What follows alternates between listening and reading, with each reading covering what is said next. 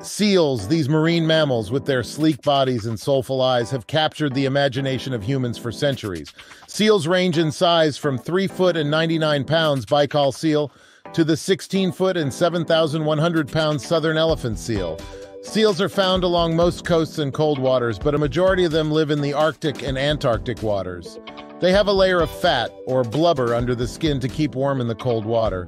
And other than the walrus, all species are covered in fur. They spend most of their lives in the water, but come ashore to mate, give birth, or escape from predators such as sharks and orcas.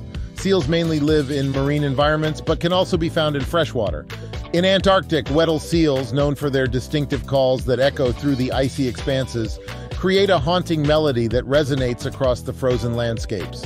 These vocalizations serve not only as a means of communication but also as a method of navigation, helping seals find their way through the vast underwater mazes beneath the ice.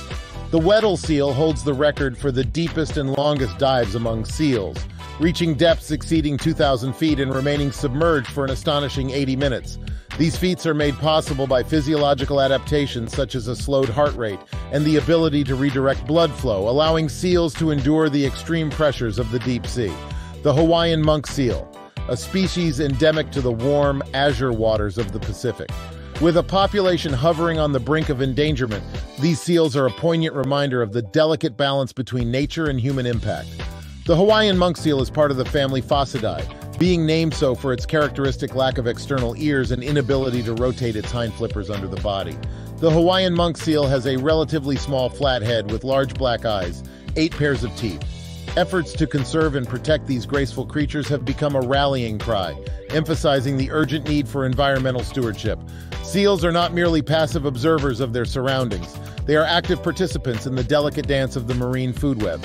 Leopard seals, with their formidable teeth and predatory prowess, play a crucial role in regulating the populations of their prey, ensuring the health of the Southern Ocean ecosystem.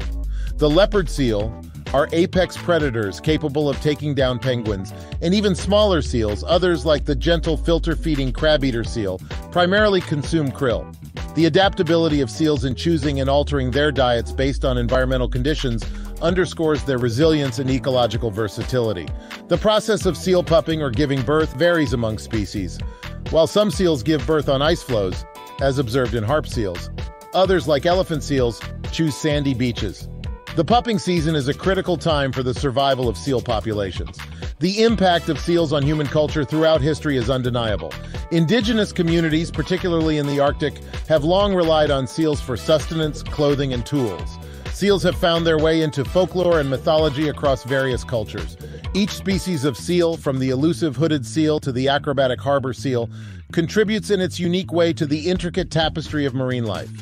As we navigate the depths of the sea through the lens of seals, we uncover not just a collection of interesting facts, but a profound appreciation for the interconnectedness of life in the oceans.